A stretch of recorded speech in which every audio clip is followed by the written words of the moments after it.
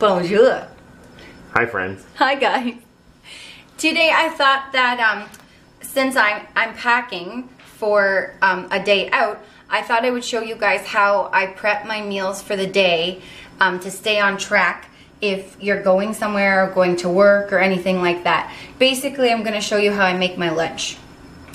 So, start with a lunch pail, my friends. You need a lunch pail. You need a lunch pail.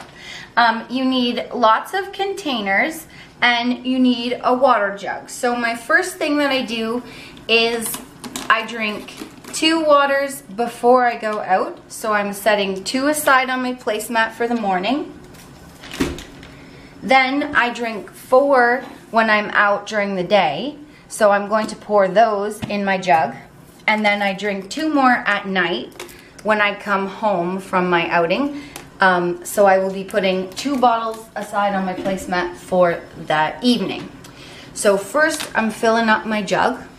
And this jug is was three. 2.2 liters. Yeah, 2.2 liters. Um, it Or- was three dollars at Walmart. So Yeah, and it's equivalent to um, eight eight ounce glasses of water, basically. So yeah, basically your whole water intake can be in that bottle. Th and you want to get yourself like a lined lunch pail. Uh, it keeps things a little cooler and it's just helpful. And I always kind of try to measure my lunch pail to my containers. This year, unfortunately, I couldn't find one that fit my normal meal prep containers. So I'll show you what my solution to that is as soon as I pour my last bottle of water. So then I just stick this in the fridge beside my lunch pail so that I take it in the morning when I go. And that way, I have no excuse not to drink my water. Yep. And by placing the four on the mat and the four in this jug, I know exactly how much water I need to drink and I can keep track of it that way. So the next thing I'm gonna do is this container does not fit down in the bottom like I'd like it to. So what I've been doing is I, um, and you guys are gonna tell me to just put it in this other container anyway, but I don't have room in the freezer. So it continues to need to be portioned in the thinner ones, and then when I'm ready to use it, I just pour it in here because this one fits in the lunch pail. And so that I don't have to bring a knife to cut my chicken up, I just cut it with meat scissors.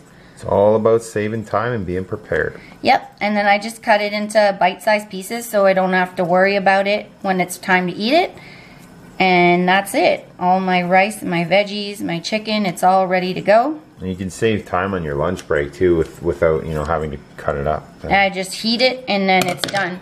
And then I'm just gonna give it a little mix so that everything is kind of smushed around and I don't have just all rice or all veggies. Yeah, and we, we like to show you guys these meal prep videos because it's really our, our secret to success, how we stay on track, is to be prepared. Because um, you don't want to be, uh, you don't want to have nothing ready when you're hungry because it's too late then. Exactly. And and the other most important thing is the portion control. Um, which is why we portion everything out, why we always have measuring cups and containers. Um, so the next thing I'm gonna do is my other meal. This will be my lunch, but my my snack meal will be oatmeal. Um, now because this is a, just a silly configured lunch pail, I will be putting a plastic container to cook my oatmeal in and putting the lid on top because I like to cook my oatmeal with a lid in case it gets big in the microwave because sometimes it overflows. I pack my fork and my spoon and a napkin. Gotta be prepared for anything. Yep. And now I will um, measure out my oatmeal. Okay, so I have my oats and I'm going to put a tablespoon of cinnamon protein powder in it to flavor it. This kind is really good, guys. It's Cellucor. It smells really good. It's called cinnamon swirl. Yeah. So that's how I'll be flavoring that. Mmm, smells delicious. And I'm just gonna stir it up in the bowl.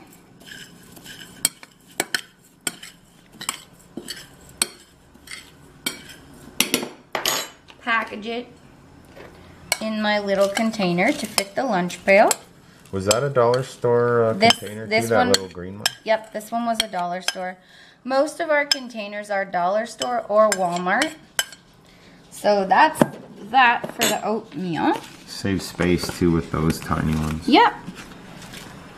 And then, um, I like to, you don't have to, but I like to put a tablespoon of syrup in my oatmeal once it's cooked. And this one is the Mrs. Butters Butters Mrs. Butterworth's no sugar added syrup. Yep, so I just pour the tablespoon in there and then I get that ready to go.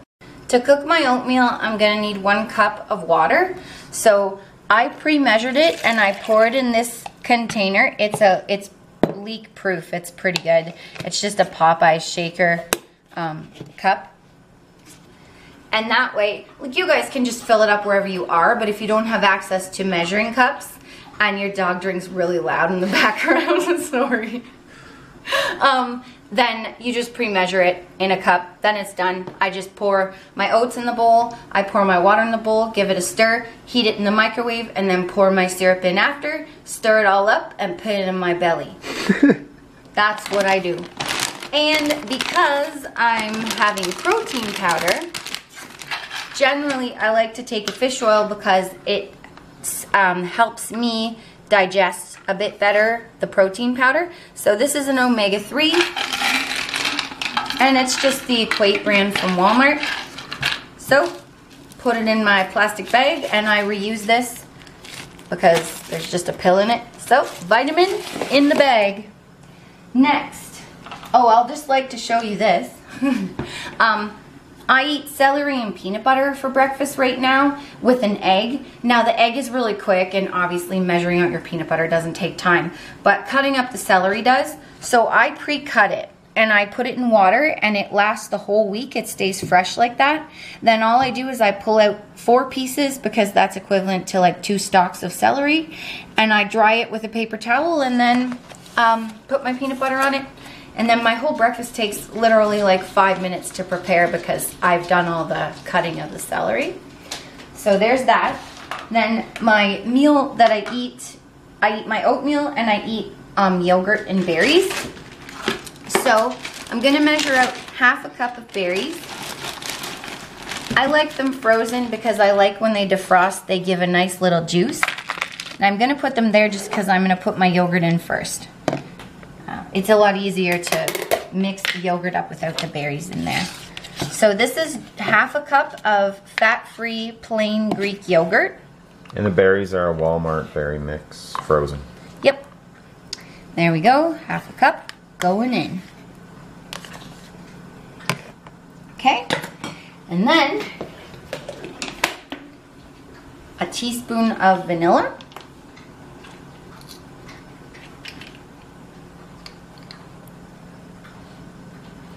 We go.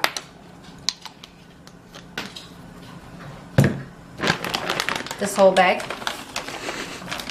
Half a teaspoon of, of stevia.